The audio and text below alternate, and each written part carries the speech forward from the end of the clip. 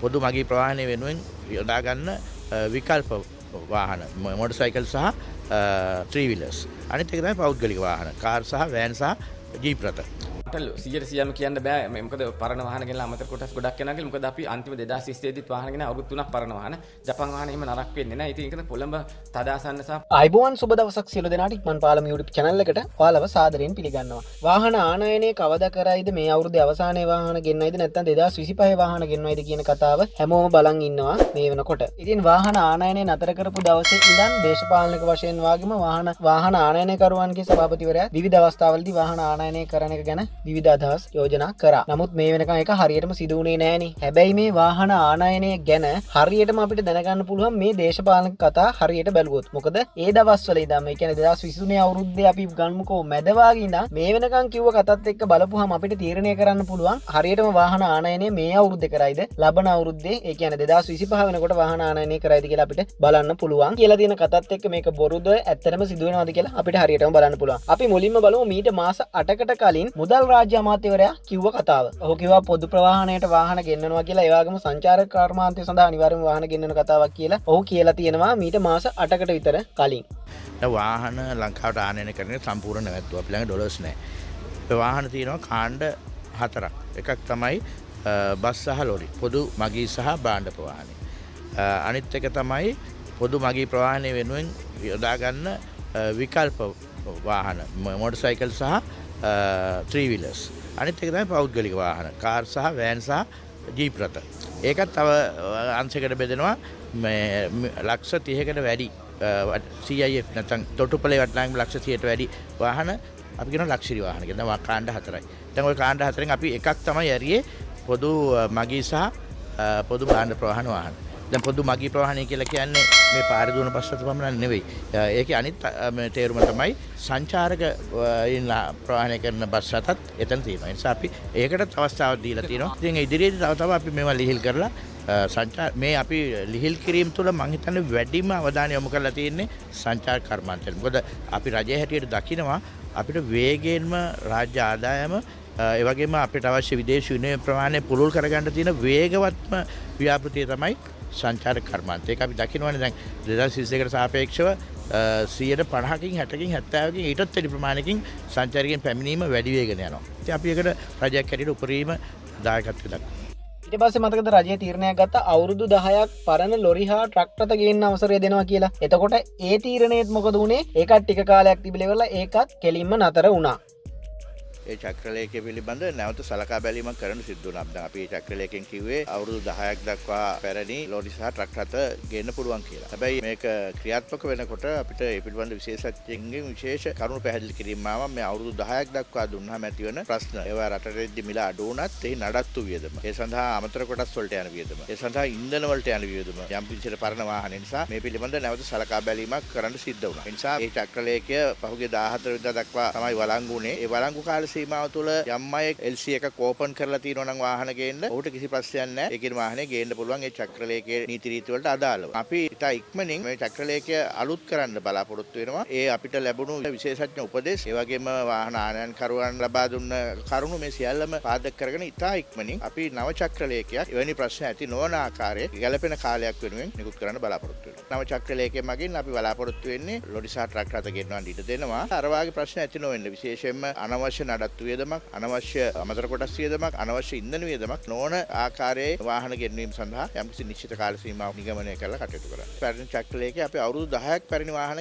ගෙන්න ඉඩ දුන්නා. ඒ වාහන එන්න ලෑස්ති වෙනකොට තමයි විශේෂයෙන් පෙන්වලා දුන්නේ. ඒ තුලින් ඇතිවිය හැකි විශේෂයෙන්ම පැරණි වාහන අඩු මිලට ලංකාවට එනවා. නමුත් ඒ අඩු මිල තුල විශේෂ නඩත්තු වියදමක්, ඒ වගේම අමතර කොටස් වියදමක් සහ විශේෂ ඉන්ධන වියදමක් ඇතිවීමට තියෙන ඉඩකඩ. ඉතින් රජයට ඒ පිළිබඳ සලකා බලලා චක්‍රලේඛය ක්‍රියාත්මක වීම මාසය තුලට පමණක් සීමා කළා. පහුගිය 14 වෙනිදා නිමා වෙනවා. ඉන් පසුව අපි ඒ චක්‍රලේඛය දීර්ඝ කරන්න බලාපොරොත්තු වෙනවා. ඒ අපිට ලබා දුන්නු සුවිශේෂී විශේෂඥ උපදෙසුත් සැලකිල්ලට භාජනය කරලා ඉතා ඉක්මනින් අපි අද හෙටම ඒ පිළිබඳ නව චක්‍රලේඛයක් නිකුත් කරනවා. ඒ කාල සීමාව තුළ යම් අයෙක් LC ඕපන් කරලා වාහනේ අනොම් කරලා තියෙනවා නම් ඒ චක්‍රලේඛයේ තියෙන නීති රීති අනුව උන්ට වාහනේ ගේන්න පුළුවන්. කිසි ප්‍රශ්නයක් නැහැ. පරණ වාහන ගෙනල්ල ඉවරලා ඒවා නඩත්තුවට අමාරු ඊට පස්සේ තෙල් විදම වැඩි කියලා ඒ වාහන ආනයනය කරන එකත් එතනින්ම නතර වුණා. ඊට පස්සේ දෙදස් විසිතුනේ ඔක්තොම්බරල කීවේ වාහන ආනයනය ගැන මෙහෙම කතාවක්. වාහන අනයන කරන්න දෙන්න අපිට තව පොඩි කාලයක් යාවි. මොකද හේතුව අපේ රටේ දැනට ගණනය කරන ආකාරයට විද්‍යුතුන් පෙන්වා දෙන ආකාරයට සෑහෙන වාහන ප්‍රමාණයක් අපේ රටේ තියෙනවා. විශාල ප්‍රමාණයක්. අපේ තියෙන අවශ්‍යතාවය, අපේ තියෙන මාර්ග ප්‍රමාණය, අපේ දහනය වෙන ඉන්ධන ප්‍රමාණය, ඒ වගේම වාහන ගෙන්වන්න ගියොත් අපේ රටෙන් ඇදී යන ඩොලර් ප්‍රමාණය මේ ඔක්කොම සංසන්දනය කරලා අපිට තීරණයක් ගන්න වෙන්නේ. නිසා දැනට අපි වාහන ආනයන කිරීම ඉඩ දීලා නැහැ. අනිත් සියලුම දේවල් දැන් ආනයන කරන්න ඉඩ දීලා තියෙනවා. හැබැයි ඒකෙන් අදහස් වෙන්නේ නැහැ පිළිවෙලක් නැති නිදහසක් අපි ලබා දීලා තියෙනවා කියලා. අපි අපේ බදු ක්‍රමෙන් සහ අපේ තියෙන සුවිශේෂී පාලන ක්‍රම වලින් රටේ නිෂ්පාදන ආදේශනයන් තියෙන හැමදේම ආරක්ෂා වෙන විදිහට තමයි මේ ආනයන ක්‍රියාවලිය ක්‍රියාත්මක කරන්නේ. අපි ළඟ තියෙන නිරෝධායන පනත් සහ බදු නීතිය පොරම විදිහට පාවිච්චි කරනවා ආනයනයන් අපිට ගැලපෙන විදිහට සීමා කරනවා. එතකොට කිව්වේ ප්‍රමාණවත් වාහන තියෙනවා කියන කතාව තමයි එතකොට කිව්වේ. ඊට පස්සේ වාහන ආනයනය නතර කරලා තියෙද්දී විදේශ ශ්‍රමිකයන් දිරිමත් කිරීම සඳහා ඉලෙක්ට්‍රික් වාහන ගැනීමට අවසරය ලබා දුන්නානේ. ඊට පස්සේ ඒකත් තිබිලා ටික කාලයකදී ඒකෙත් යම් යම් ප්‍රශ්න ඇවිල්ලා ඒකත් එහෙමම නතර වෙලා ගියා. විදේශ රටවල සේවයේ යෙදෙන ශ්‍රී ලාංකිකයන්ට ඔවුන්ව දිරිගැන්වීමක් හැටියට විදුලි වාහන ගැනීම සඳහා අවසරයක් ලබා දුන්නා. 2020 නම් අපි වාහන ගේන්න දෙන්නේ නැහැ. නමුත් අපි හිතුවා ශ්‍රී ලාංකික ශ්‍රමිකයන් විදේශයන් වල ඉන්න විශාල සේවාවක් කරන අපිට විනිමය ලබා දීමේදී ඔවුන්ට කරන දිරිගැන්වීමක් හැටියට. ඒ නිසා යම් කිසි නිශ්චිත කාලයක් තුළ ඔවුන් රට කරු ප්‍රේෂණයක් බලලා ඒ අනුව තමයි මේක ලබා දුන්නේ. මේ මාස 16 වෙනිදා යනකොට වාහන 119ක් මේ ආකාරයට ගෙනත් තියෙනවා. ඉතින් මේ ගැන අපිට විවිධාකාර පැමිණිලි ලැබුණා මේ යම් යම් ආයතන ක්‍රියාවන් වෙනවා කියලා. අපි විශේෂයෙන් සොයා බැලුවා ඒක එක ආයතනයක් මේ 119න් 75ක්ම ගෙනත් තියෙනවා. ඒ නිසා විශේෂයෙන්ම අපේ ඇසෙතනට යොමු වුණා රේගුවේ. අපි සොයා බැලීමේදී අපිට පේනුණා යම් වැරදි වෙලා තියෙනවා කියලා. මොකද අපි මේ වෙනකොටත් මේ මේ සහනය ලබා දීමෙන් රටේ බදු ආදායම රුපියල් කෝටි 35ක් විතර අහිමි කරගෙන තියෙනවා මේ දිරි ගැන්වීම සඳහා. මේ ආයතනයේ වාහන 75ක්ම ගෙනත් තියෙනවා. ඒ වාහන 7ක් තමයි ඔවුන් තුල දැනට තිබුණ අනිත් විවිධායට අලෙවි කරලා ඒ වාහන 7 වහම රේගුවක් අඬවකට ගත්තා. මේ ස්ථානයේම තියදී අතුරු සහ ලියකියවිලි සියල්ල රේගුව පාරයට ගත්තා. දැන් දීර්ඝ පරීක්ෂණයක් කරනවා. ඒ පරීක්ෂණයේදී බලාපොරොත්තු වෙනවා මේ වාහන අන්සතු කිරීම. මේ වාහන අන්සතු කරන්න බෑ. මේක ගෙන්නන්න පුළුවන් ඉන්නේ විදේශීය ශ්‍රමිකයෙකුට පමණමයි. දෙවැනි එක වටිනාකම අඩුවෙන් සඳහන් කිරීම. තුන්වෙනි කාරණාව තමයි මේ විකිණීමෙන් ලැබෙන ලාභය නියමිත පරිදි දේශීය ආදායම් බදු දෙපාර්තමේන්තුවට ඉදිරිපත් නොකිරීම. හතරවෙනි කාරණාව මුදල් විසුද්ධිකරණය යටතේ මේ මුදල් හැබෑවටම විදේශ ශ්‍රමිකයෙකු උපයව මුදල්ද එහෙම නැත්නම් මේවා උන්දියල් කමිටුවේ ආපු මුදල්ද කියන ප්‍රශ්න තියෙනවා. ඉතින් මේ කාරණා හතරක් පිළිබඳ දීර්ඝ පරීක්ෂණයක් කරනවා. අපි මේ වාහන 119 පිළිබඳව හොයන්න බලාපොරොත්තු වෙනවා. මේ රටේ වටිනා බදු මුදල් මේ තව 25ක් වුණ අනොන් කරුවත් කියලා මේ සියල්ල පිළිබඳව දීර්ඝ පරීක්ෂණයක් කරනවා. ඉදිරියට මේ පාසුකම ලබා දීමේදී විශේෂයෙන්ම මේ නීතියේ යම් යම් වැරදි ස්ථානයන් සොයා බලලා ඒවට නිශ්චිත පිළියම් යොදලා කටයුතු කරන්න බලාපොරොත්තු වෙනවා. විශේෂයෙන්ම විදේශ රැකියා අමාත්‍යාංශය සමගත් දීර්ඝ සාකච්ඡාවක් කරනවා. මෙවැනි වැරදි අවම කරගෙන කොහොමද අපි විදේශ ශ්‍රමිකයන්ට මේ දිරිගන්නේ ඊට පස්සේ එහෙම කියලා වාහන ආනයනය කරන එක ගැන අවසාන තීරණයක් කියලා ඉවරලා මුදල් රාජ්‍ය අමාත්‍යවරයා කිව්වා මොකද්ද කිව්වේ 2023 නොවැම්බර් වගේ කීවා වාහන ආනයනය කරන්න තව ටික කාලයක් අපිට අවශ්‍යයි කියලා. එතකොට කිව්වෙත් විද්‍යුත් වාහන වලට මූලිකත්වය ලබා දෙනවා කියන කතාව තමයි එතුමා කිව්වේ. දැන් අර ඔබතුමාට මං කිව්වේ අපේ තිබුණු මහා දැවැන්ත ආර්ථික අවුල අපි ලියාගත්තේ අපි රාජ්‍ය වියදම් පිළිබඳ ඉතා ඉහළ කළමනාකරණයක් කරා. ඒක එක පාර්ශ්වයක් තමයි දේශීය වියදම අනිත් පාර්ශ්වය තමයි විනිමය වියදම් කිරීම. ඒ විනිමය වියදම් කිරීමට හොඳ පෙළගැස්මක් හදපු නිසා තමයි අද අර සල්පම් ගණන් දිග තෙල් පොලිම නැත්තේ, ඖෂධ හිගේ නැත්තේ. එතනදී අපේ රටෙන් විනිමය ලොකු ප්‍රමාණයක් යන ආනයනයක් තමයි වාහන. ඒ නිසාම අපි අනිත් සියල්ල මේ වෙනකොට විවෘත කරලා වාහන ගැන අපිට තව පොඩි කාලයක් අවශ්‍ය වෙනවා. මොකද අපි දැන් මේ දවස්වල ජනාධිපති ලේකම් කාර්යාලය කමිටුවකින් සොයා බලාගෙන යනවා. අපේ රටේ තියෙන වාහන අපිට ප්‍රමාණවත්ද? තව කොච්චරක් අපිට අවශ්‍යද? පොදු වාහනද වැඩිපුර අවශ්‍ය? නැත්නම් මොන ගණේ වාහනද? ඒ වගේම අපේ අවධානය යොමු වෙලා තියෙනවා ගෙන්නනවා නම් ඒ ගෙන්නන අවස්ථාවක වැඩිපුර අවධානය යොමු කළ යුත්තේ විද්‍යුත් වාහන වලට. ඒ වගේම අපි ලොකු උත්සාහයක් යෙදුණා මේ රට තුල අඩුම ගානේ එකලස් කිරීමේ කර්මාන්තය වර්ධනයක් කරන්න. මොකද වටේ තියෙන සියලු රටවල් ඒ කටයුත්තද යෙදෙනවා ඉන්දියාව වෙන්න පුළුවන්, වියට්නාම් වෙන්න පුළුවන්, ඉන්දුනීසියා වෙන්න පුළුවන්, මැලේසියාව. මෙන්න මේ සියලුම අරමුණුත් එක්ක අපේ වැදගත්ම දේ තමයි නැවතත් අර වගේ විනිමය හිගයක් ඇති නොවෙන්න. අපි ළඟ තාමත් බිලියන 3.8ක් විතර තමයි ඩොලර්ස් තියෙන්නේ. මේක අඩුම ගානේ බිලියන 6කින් එහාට ගියම තමයි අපිට යම්කිසි ශක්තිමත් විදිහට තීන්දුව తీරන ගන්න පුළුවන්. අපි ඉවසීමෙන් කල්පනාවෙන් තමයි මුදල් අමාත්‍යාංශය තනියම තීන්දුව ගන්න. මහා බැංකුව තවත් අදාළ අමාත්‍යාංශ ඒ විදිහට තමයි වාහන ගෙනීම පිළිබඳ අවසාන තීරණයක් අපිට ගන්න වෙන්නේ අනාගතේ. ඒවාගම තමයිතින් කමිටුවක් දාලා වාහන ආනයනය ගැන විස්තර හොයනවා කියලා කිව හැබැයි ඒ කමිටුව දාලා විස්තර හොයන එක තාම ලංකාවට අවශ්‍ය වාහන මොනවද? එතකොට වාහන ගෙන්න්න ඕනද කියනක යාලට තාම ඉදිරිපත් කරගන්න තැබයි බැරිවෙලා තියෙන දැම් මාස අටක් විතර වෙනකම්ම ඒක ඉදිරිපත් කරගන්නත් බැරි වෙලා තියෙනවා. ඊට පස ඔය ඔක්කොමත් එක්ක ජනවාරයේ විතර වෙනකොට වැට් කතන්දරයි ඊට පසේ තවසන් සීසියකෙන් පල්ලෙ වාහන ගෙන්න්නන කතාවකුයි එක්ක අය වාහන කාරලියෙක්ට ආවනේ. ඒත් එක්ක මිට පසේ වාහන ආනයනකරුවන්ගේ සභාපතිවරය මොකද කීවේ? ලංකා වාහනාන කරුවන්ගේ සංගමය සභාපති ඉන්දික සම්පත් වෙනච්චිකි. අද වෙළඳ පොලේ බොහොම කතාබාට ලක්වෙච්ච මාතෘකාවක් වෙලා තියෙනවා 1000 cc අඩු වාහන ගෙන්නනවා ආනයනකරුවන්ගේ සංගමෙන්නේ ප්‍රකාශයක් කෙරුවා කියලා. ඇත්තට මෙරට වාහන ආනයනකරුවන්ගේ පාවිච්චි කරපු තියෙන සංගම් දෙකයි අනිත් සංගමෙත් මම විමසුවා. ඒ වගේම ලංකාහන කරුවන්ගේ සංගමයට අපි හැටිත් අපි මෙහෙම කිසිම ප්‍රකාශයක් කළා නැහැ. මොකද අපිට එහෙම තීරණයක් ගන්න බෑ. තීරණය ගන්න ඕන රජයෙන්. අපි කියන්න ඕනේ රජයට හැබැයි අපිට කරන්න පුළුවන් යෝජනාවල් කෙරුවා. ඒ වගේම ඊට සම්බන්ධ දේශපාලක් දේශපාලන අධිකාරියත් මුදල් අමාත්‍යංශයත් මහ බැංකුවත් කිසිම දෙයක් ඇහුම්කන් දෙන්න ශේෂ්ත්‍රය තුලින් ඒ ශේෂ්ත්‍රයේ පුද්ගලයන්ට යම්කිසි යෝජනාවල් ගෙනලා යමක් ක්‍රියාත්මක කරන්න පුළුවන්. ඇත්තටම අපිත් හැමදාම කියන්නේ පොඩියට හරි පටන් ගන්න. රටක පල්ලෙහාට ගියාම උඩට එද්දි පොඩියට පටන් අරගෙන එන්න ඕනේ. ඒකට පදනමක් තියෙන. ඒ කියන්නේ බේස් එකක් තියෙන්න ඕනේ. ඒ කියන්නේ වාහන ආනයන වුණාම මිලක් තියෙනවා. මේ මිල මත තමයි වෙළඳපොළ ඊට පස්සේ රැඳෙන්නේ. ඉතින් ඒක තමයි ඉස්සර මෙච්චර උච්චාවචනයක් වාහන වල මිල ගණන් උන්නේ නැහැ. ඉතින් දැන් මේ මිල ගණන් ඉතාම ඉහළ ලෙස උච්චාවචනය වෙනවා. මේ සාමාන්‍ය අපි උදාහරණ ලක්ෂ 70ක වාහන ලක්ෂ 85ක 90ට ආයක බහිනවා. ඉතින් මේක ඇත්තටම මොහොම විෂමතාවයක්. ඒව නැති කරන්නේ මේ වගේ පොඩියට හරි පටන් ගන්න ඕනේ. ඊටසේ මාත් වලින් පස්සේ වාහන ගැනීම සීමා කෙරුවා. ඒක ඊට පස්සේ මාස 3-4ක් ගියා 2020 ජූනි විසිහය මන් දන්න විදිහට තමයි අන්තිමට ගෙන්නන්න දුන්නේ. හැබැයි ණය ලිපි තිබුණ කල් ඒ වාහන ජපානයෙන් පැටේවා. ඒ වගේ වාහන 400 ගණන් වරාය තිබිලා අපි නිකන් හිතන 2020 ඉඳන් මේ 2023 අද අපින විසිහතරේ මුල ඒ වෙනකන් අපි මහන්සිකට රජයට ඒත්තු ගන්න තාම ඒවා වරාය තියෙන. දැන් මේක දෙපාරක් අය යෝජනා කරේ ඒවා නිදහස් කරන්න. ඒක කළා මං හිතන්නේ මේ මේ පාර අයවැයෙන් බිල් එකක් පාස් කරුවා. මුදල් අමාත්‍යාංශයෙන් මේ මේ මේ වාහන ටික ඒ කාල සීමා පරාසය දාලා මං හිතන්නේ දෙසැම්බර් වෙනකන් 2020 ඒ කාලය තුලට ලංකාවට ආපු වාහන තියෙනවා නම් ඒක බදු වලට 10%ක් දාලා කරනවා. ඒක දැන් ඒක දැන් ක්‍රියාත්මක වෙනවා. මම හිතේ ඒ වාහන ටික නිදහස් වෙයි. ඉතින් ඒක මේ මේ බලන්න දැන් කොච්චර අකාර්යක්ෂමද කියලා රජය මේ සල්ලි ගන්න තිබුණේ 2021 විතර. ඉතින් ඒ වගේ කාලයක් මේ අවුරුදු 3ක් වරයි. මේ ඒක තමයි කොච්චර ලංකාව දැන් මේ ක්‍රියාත්මක කිරීමේ දැන් බලන්න දැන් මේ වාහන තිබුණා. දැන් දෙනවා. මෙච්චර කලින් දෝන්ද කියලා තීරණයක් ගන්න. මේ කිසිම තීරණ මේ රට විනාශ වෙන්න පළවෙනි හේතුව රජේ රජය ගන්න කිසිම දෙයක් හිතන්නේ නැහැ තීරණ ගන්න. අපි ගිහලා කතා කරපුවාම අපි දෙන ලියුම් හුණු කොඩේට දාන්න. හැබැයි දැන් ගෙන්නන වාහන දැන් ගෙන්නන්න බැරි හින්දා වාහන අපලන් තත්ත්වයට පත් වෙලා තියෙනවා. දැන් ඒවට අත අමතර මේ කොටස් ගන්න ගියාම විශාල දෙස මුදල් වැය වෙනවා. ඒක මේ වාහනගේ ඒ හා සමාන මුදල විතරක් ඇදෙනවා නේද මේ අමතර කොටස් වලට? නෑ මට සියයට සියම කියන්න බෑ. මොකද පරණ වාහන ගෙනලා අමතර කොටස් ගොඩක් යනවා කියලා. මොකද අපි අන්තිම 2020 දී වාහන ගෙන අවුරුදු 3ක් පරණ වාහන. ජපාන් වාහන එහෙම නරක වෙන්නේ නෑ. ඉතින් ඒකද කොළඹ තදාසන්න සහ ප්‍රධාන නගර ගොඩක් පාවිච්චි කරේ තියෙන අලුත් වාහන තිබුණේ. ඉතින් දැනට වාහන එහෙම පාවිච්චි කිරීම අවස්ථාවේ විෂම විෂමතාවය ගොඩක් නෑ.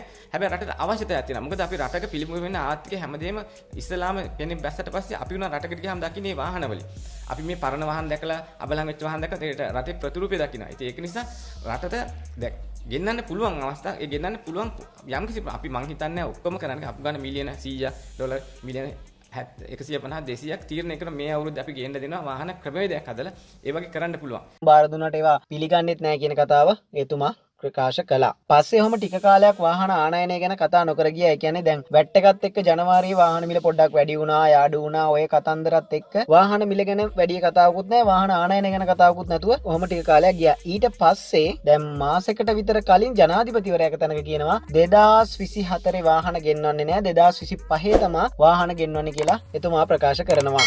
තා ගැනීම ප්‍රශ්නය මේ වසරේ පෞද්ගලික වාහන ආනයනය කිරීම ගැන ඔබගේ අවධානය යොමු වෙලා තියෙනවාද? ඒකට පිළි පිළිතුරු වශයෙන් ජනාධිපතිවර දීලා තියෙන්නේ උපුටා ගැනීම. ලබන වසරේ මුල සිට අපි ඒ ක්‍රමාණුකූලව සිදු කිරීමට බලාපොරොත්තු වෙනවා. මෝටර් රථ වෙළඳ පොලේ තියෙන ගැටලුව පිළිබඳව මම දැනුවත් නමුත් තවම අපේ ගෙවීම් ශේෂය යහපත් තත්වයක නැහැ. අපි මෝටර් රථ ආනයනය හැර අනෙක් සියල්ලටම ඉඩ දීලා තියෙනවා. මෝටර් රථ ආනයනය කළොත් නැවත රට ආපස්සට ගමන් කිරීමට හැකියාවක් තියෙනවා. නමුත් ලබන වසරේ සිට පියවරෙන් පියවර මුලින් අත්‍යවශ්‍ය වාහන වර්ග ආනයනය කිරීමට අපි බලාපොරොත්තු වෙනවා. මේ වසරේ සංචාරකීන් සඳහා යොදාගන්නා බස් රථ ආනයනයට අපි අවසර දීලා තියෙනවා.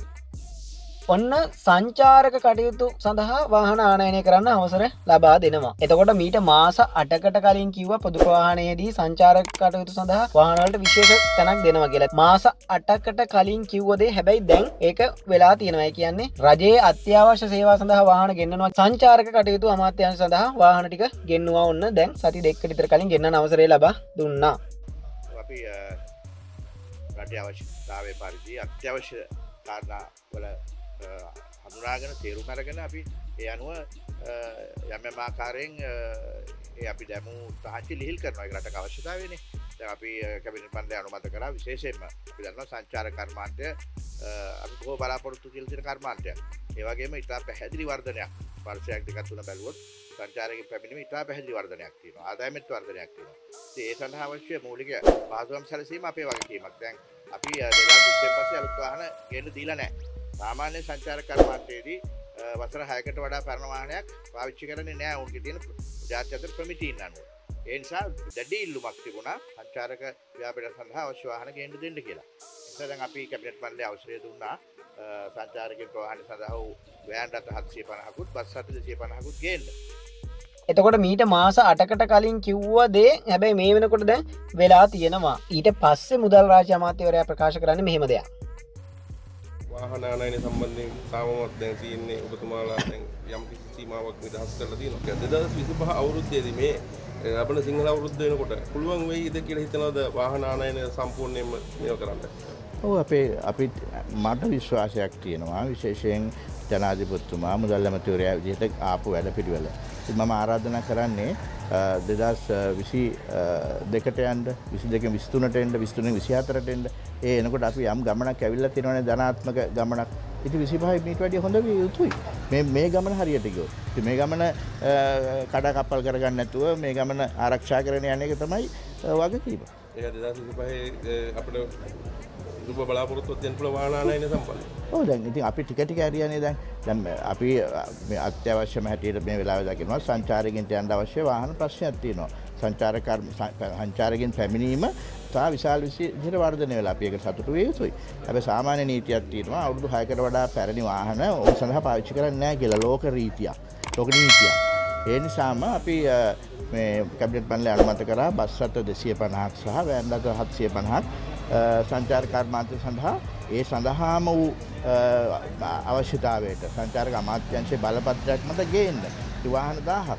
ඉතින් මේ වගේ ක්‍රමෙන් ක්‍රමෙන් රටේ අවශ්‍යතාවය හඳුනාගෙන අපි සූදානම් මේ වෙළඳාම යුක්ත කරන්න. අපිට දැන් කියන්න පුළුවන්නේ සාමාන්‍ය දෙදස් විසි හතරේ අවසාන කෙසේ වෙතත් දෙදස් විසි පහ වෙනකොට අනිවාර්ම වාහන ගෙන්වයි කියන එක හිතන්න පුළුවන්. මොකද මේ යන විදියට. මොකද දැන් ඉස්සරලාම වාහන ආනයනය කරන්න ඩොලර් නෑ කියලා කිව්වා. ඊට පස්සේ මොකද කියන්නේ? දැන් කියන ඩොලර් සංචිත ටිකක් තියෙනවා. එතකොට දෙදස් විසි පහ වෙනකොට වාහන ආනයනය කරනවා කියන එක මෙතුමා දැන් නොකයා කියනවා කියලා හිතන්න පුළුවන්. මේ කියලා තියෙන කතන්දරත් එක් ඒකෙසේ වෙතත් ඉලෙක්ෂන් එකක් තිබොත් ඉලෙක්ෂන් එකට කලින් අනිවාරය වාහන ටික ගෙන්වයි කියලා හිතෙනවා මේ යන විදිට මොකද යාලා තව තවටික කාලයක් බල ඉන්න ඕන නිසා අනිවාරම මේ වැඩේ කරයි කියලා අපිට හිතන්න පුළුවන්. මීට මාස අටකට නමයකට කලින් ඉදං වාහන ආනයනය ගැන දේශපාලක වශයෙන් මොකද වනේ කියන කතාවතකොට අපිට ඒකින් හිතන්න පුළුවන් ඉදිරියේදී අනිවාරම වාහන ආනයනය කරයි කියන එක. මොකද ආස අටකට විතර කලින් කිවා රජය අත්‍යවශ වාහන ගෙන්නවා කියලා. හිදි විදේශ කටයුතු අමත්‍යංශයට වැඩි තැනක් දෙන කතාවක් කියවන. එතකොට ඒත් එක්ක දැම් මේ වෙනකොට අන්න ඒ වාහනවලට අවසර ලැබිලා තියෙනවා. එතකොට ඔය යන විදිහට ක්‍රමක්‍රමයෙන් ඉදිරියේදී අනිවාරය මේ අවුරුද්ධ අවසානය හෝ ලබන අවුරුද්ධ මුල වෙනකොට එකන දෙදා සිසිපා වෙනකොට වාහන ආනයනය කරයි කියලා අපිට ගොඩක් හිතන්න අවස්ථාව වැඩි බලපුහම හැබැයි ඕක විශ්වාස කරන්නත් බෑමකොද මේ රජය